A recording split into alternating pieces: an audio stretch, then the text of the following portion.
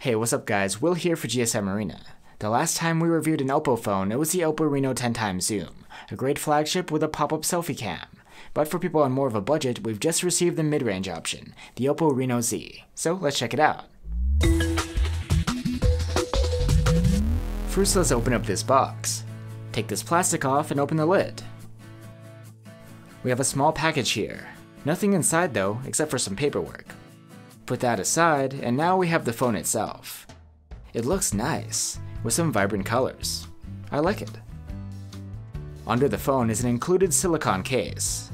The case is pretty dark and opaque, so it'll definitely take away some from the phone's looks.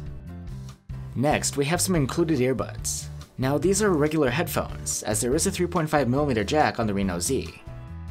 There's a 20 watt VOOC charger, which should charge the phone's 4000 mAh battery pretty fast. And finally the USB-C cable. And a SIM ejector tool. So now that we have the Reno Z in our hands, let's go over its key features. The Reno Z is a good looking phone. It's made from glass on the front and the back, but with a plastic frame. Ours is the Aurora Purple model, and its gradient metallic finish is quite nice, with green accents here and there. On the front is a 6.4 inch AMOLED display with a 1080p resolution, is protected by Gorilla Glass 5, and it looks good. There's even HDR10 support. Unlike the more expensive Reno 10x zoom, there's no pop-up mechanism for the selfie cam. Instead, it sits at the top of the screen, within a small water drop notch cutout. The Reno Z isn't without its cutting-edge features though. Under the display sits an optical fingerprint scanner that works quite well. The Reno Z comes with MediaTek's new Helio P90 chipset. It's the first time we've had it in our hands, so it'll be interesting to test out. The P90 is MediaTek's latest and greatest, and is built on a 12nm process. It also includes a dedicated chip for AI-driven tasks.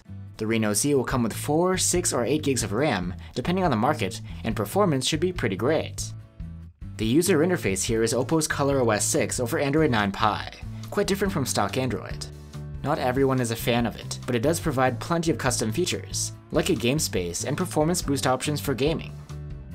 A stereo speaker setup is one feature from the Reno Z that's above its pay grade. There's a speaker down at the bottom, and the earpiece acts as the second speaker. Like I already mentioned, there's a 3.5mm audio jack, and headphones come in the box. You get Dolby Atmos sound here too, but no FM radio. The Reno Z has a 48 megapixel camera with a quad Bayer filter, so photos will come out in 12 megapixels. It's quite similar to a lot of phones coming out these days. If those other phones are any indication, photo quality during the day should be quite nice. We'll have to see how nighttime images hold up with a dedicated night mode.